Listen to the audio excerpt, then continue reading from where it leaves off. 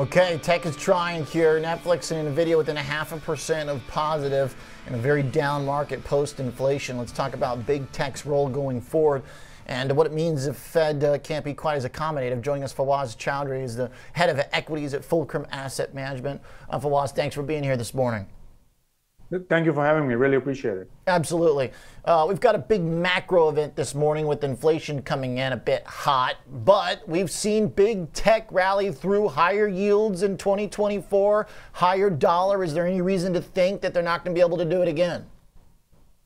Near time, I think the market's something like tech looking for a reason to pause. The print was high. Um, if you look at core services, core services, X shelter, super core, as they want to say, month on month, came in super hot. So I would say we'll see how the PPI and PCE prints come as well.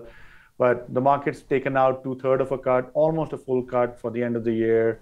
Um, reason to pause? I think it, after a while it goes, it rallies through. AI, the strength is too strong in the big cap tech. The fundamentals are too strong. Yeah.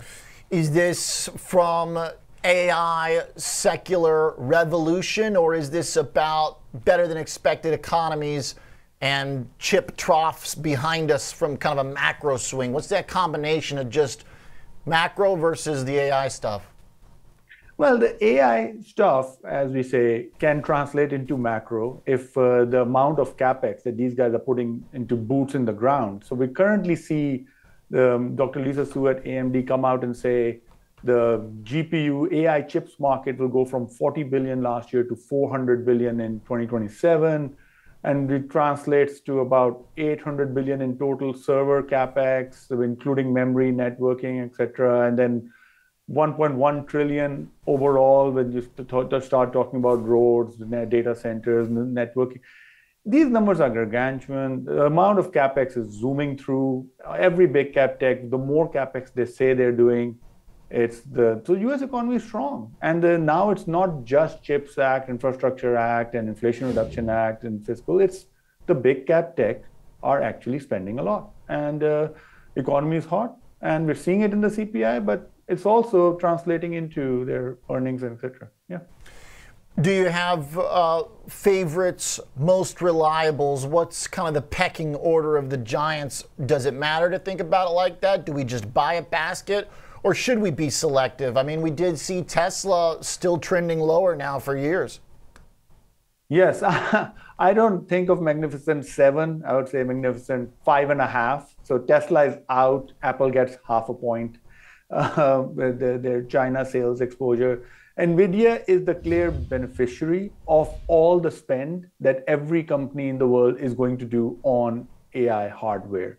So if AI is actually a zero sum game where everyone has to spend just to hold on to their market share, whether it's staples, whether it's telco, whether it's advertising, then the hardware guys win. If but generally productivity gains, Microsoft and AWS, Azure and AWS will be running the AI workloads. So they'll be next in the pecking order after NVIDIA. And after that, you're into the users in the Magnificent Seven, like Meta is using AI to increase engagement. Google has kind of dropped the ball, but it should come back and improve. But our preference is more on the the companies winning from AI spend. And NVIDIA obviously in the Magnificent Seven, but there's a whole host of companies in, in US as well, Broadcom or AMD or Arista Networks, etc., that will be winning from AI spending. How much confidence do you have in that next order effect? We've already seen the numbers, they're indisputable in the core NVIDIA, which just turned green on the day, by the way. We've seen the numbers there. amazing. yeah, it is amazing. Uh, we've seen kind of the knock-on effect in other chips where the numbers are showing up. But as we make that transition out of the hardware build-out into the secondary hardware support, the Arista stuff you're talking about, and then kind of the tertiary, the services, the ultimate product being produced with all this computing power, those second and third steps, what's the timeline to kind of seeing that come to fruition? So I think the way to think about AI services is twofold. One is truly revolutionary. Product, productivity gain will go through the roof. And we don't know that yet. And uh, we don't, maybe the products, the services that the revolutionary products don't even exist yet. So if I, if we go down to the 90s tech landscape, in that case, we didn't know what internet was going to be, but we knew it was a lot of routers. And Cisco became the largest company in the world by 2000, and that's NVIDIA today. We don't really know what AI will be by the back half of the decade, but it'll be a lot of GPUs that will be putting that will be put into the workload. So to your question, how sure are we? I would say we're not sure yet. And if just to remind you, like Mike, Facebook was founded in 2004, like 2003. I mean, these are who knows what the services will come down the road. Google didn't start till late 90s. Like um, so, I would say just own the picks and shovels. I don't know if there's gold in the hills. 1849 San Francisco. Just make sure you sell a lot of picks and shovels to the guys who want to go digging. Okay, that's the key point. Is the semiconductors basically are still the best way to play this. I mean, once again, we see yeah. that there's uh, unique amounts of strength there generally today. The yeah. uh, other kind of follow-on products from maybe the cloud stuff, some of the server centers. I mean, that might still kind of be tied to general trailing demand, uh, which I think is kind of showing up in some of these numbers. A lot of these cloud companies are still off their highs. Do you think that we'll eventually get the rally to broaden out to some of those lower cap names?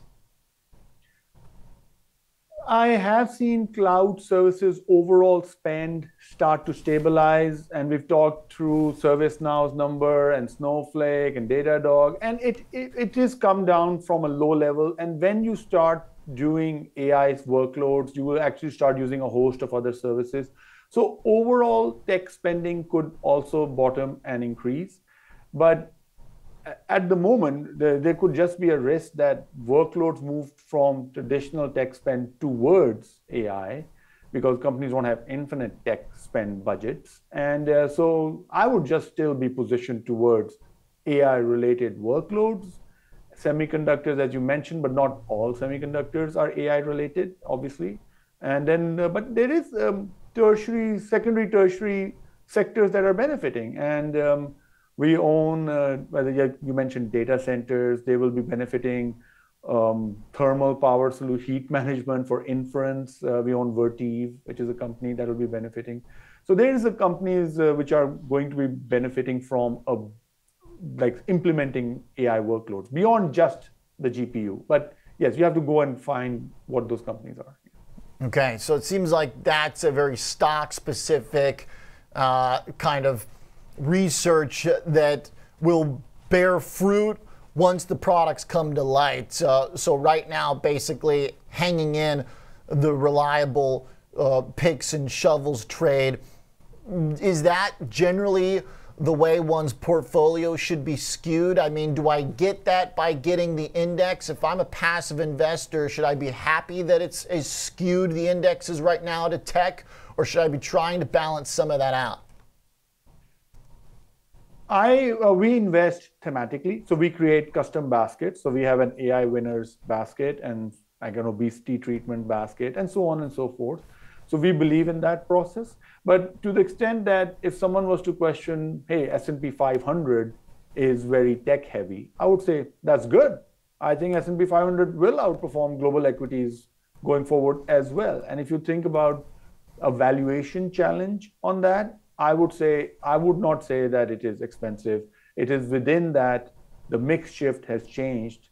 And if you look at companies like Microsoft trading at low 30s PE, which is eight, nine points higher than Walmart or Procter and Gamble at 24. And I would say Microsoft is just as defensive with faster growth. It's justified. Or even Nvidia, two, three, three years forward-looking earnings. Nvidia is in at around 30p. So th- these earnings are growing fast for these businesses. I don't think in a in a world where the Fed turns more hawkish again, maybe doesn't cut as aggressively the rest of the world will slow down. Emerging markets don't like dollar being strong. Mm-hmm. And in a growth deprived world where China is slowing, these tech giants are the ones delivering the growth. So you want to own them and you want to own S&P 500 if it is tech heavy, but you can be more specific. Yes, like I said, more nuanced into the picks and shovels on AI or other winners. But thematically, yes, this is how you should be positioned. I agree. Okay. It sounds like uh, AI is helping build in a little inflation resistance to the overall market. because of the extreme growth that it's offering. So even if uh, economy stays strong, inflation stays firm, tech is uh, proven that it's uh, arguably the least sensitive. Give me one last thought, Fawaz. Go ahead. Yeah, I mean, uh, to the point where if the AI tech is causing boots on the ground, cement, infrastructure, power grids, all of that for AI, and the Fed has to keep rates high to destroy other parts of the economy because US CPI or PCE comes hotter because of the tech spend. You're right. You should even more be positioned towards AI or tech companies because the other consumer discretionary will be squeezed from higher rates. So yeah, completely agree. All right, Fawaz, really good conversation. Looking forward to more. Thanks a lot for your time. All right, thank you so much for your time. Really appreciate it. Yeah, My good pleasure. stuff. Good sophisticated analysis on the role AI is going to be playing in the economy, is potentially revving up some of the growth. Even if it uh, keeps inflation bid, at least tech will be too. Fawaz Chaudhry, head of equities at Fulcrum Asset Management.